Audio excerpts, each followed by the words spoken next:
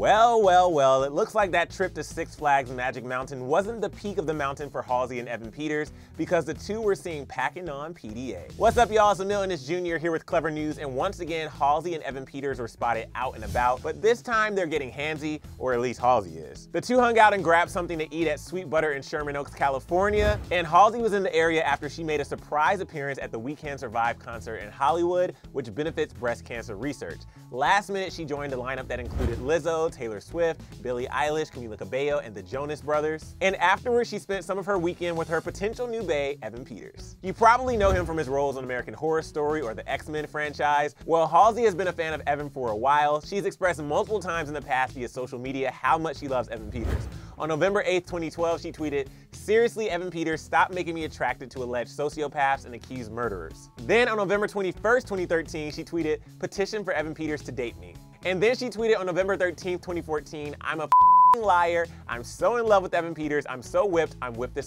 You know what they say, put it out into the universe and it shall come. I mean, it wouldn't be the first time that a fan ended up with their longtime celebrity crush. Because while Halsey and Evan were at dinner this past weekend, they were getting awfully cozy. They were spotted by a Twitter user who tried her best to get photos of them. She said, I'm sitting next to Halsey and that dude everyone thinks is her boyfriend. And yes, she confirmed that she was talking about Evan Peters. And she even got a photo of them from behind with both of their arms around each other. She got a short video of Halsey's face confirming that bun and blue scrunchie is in fact her. And if that isn't proof enough, some other lucky person got some photos of Halsey touching Evan's face. I mean, I definitely wouldn't want someone that I'm dating to be touching my face like that, especially since like they definitely weren't friends before a couple of weeks ago. Better yet, a source told E! News a friend connected them and they had also been chatting over social media before deciding to hang out. It's still very new, but they are both interested in dating each other and hanging out. So that sounds like great news for both parties, but not so great news for their exes. Evan Peters dated Emma Roberts on and off for seven years from 2012 through 2019.